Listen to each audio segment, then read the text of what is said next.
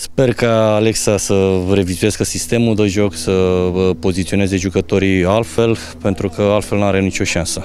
Adică nu ți-au plăcut uh, jucătorii cum a arătat până acum? Nu, dar trebuie să schimbe ceva, pentru că um, el, dacă va continua cu același sistem și cu poziționarea jucătorilor care a fost în mandatul precedent al lui Pancone, nu va aduce nimic nou în jocul rapidului și oricum echipele care, care le are acum de, de învins, deci, nu, dacă nu aduci nimic nou, n-ai cum să-i surprinzi în primul și în primul rând. UTA, numai dacă se apucă să facă două, trei meciuri egale și să bată un meci, promovează sigur. La baraj, oricine întâlnește, și UTA, și Argeșul, și Rapidul, și Petrolul, sau cei care vor fi acolo în primele trei locuri, foarte greu. Au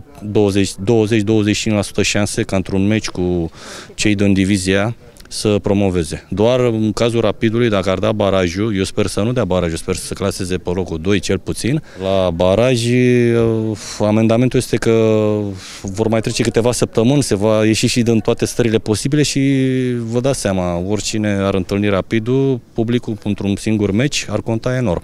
Din punctul meu de vedere, cred că toți cei 11 trebuie schimbați, dacă va promova Rapidul. Adică schimbați din primul 11, că vor mai rămâne 5.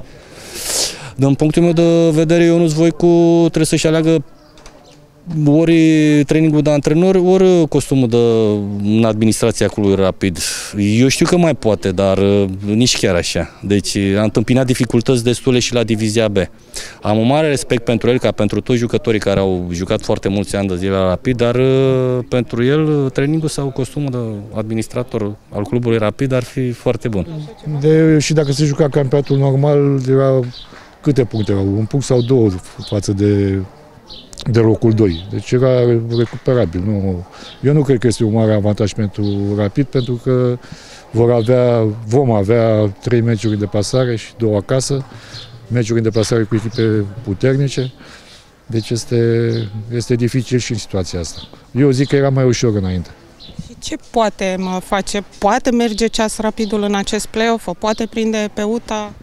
Nu trebuie să prindă pe UTA neapărat. Locul 2 este de ajuns, pentru că, după cum știți, știm cu toții, primele două locuri se califică direct în uh, Liga 1 și locul 3 baraj. Ok, dar pentru Rapid nu sună ok nu, să stai pentru... să în Liga 2 locul 2? Dacă ăsta este regulamentul, de ce nu? La, la situația actuală se poate și locul 1. Dar trebuie neapărat să bați, să învigi la Arad pe UTA.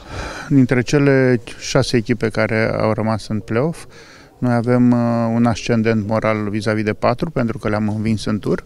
Avem într-adevăr o, o mică problemă, ca să zic așa, cu Turisu, unde am uh, pierdut și am făcut egal. Eu zic că avem, uh, avem șanse să, să prindem unul dintre cele două locuri.